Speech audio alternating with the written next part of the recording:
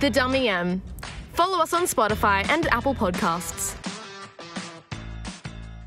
As two or three years in, I had a mate come to see me, and it was, it was like the final of, of this competition. Like, it was, uh, comedy competitions are always some kind of bullshit thing that Yeah, yeah, yeah. you know the, it's the, the you know the promoter makes money off their friends and family and stuff like that. But anyway, uh, I had a mate come along. I was in the final of this competition, and um, another guy who was in the final brought his entire cricket team, and had a, That would've went uh, they had never been yeah never been to comedy before. Been drinking all day. Didn't give a shit about anyone else. I bombed so hardly. I was so bad that my mate could barely look at me in the eye on the way out. It's like, The Dummy M. Follow us on Spotify and Apple Podcasts.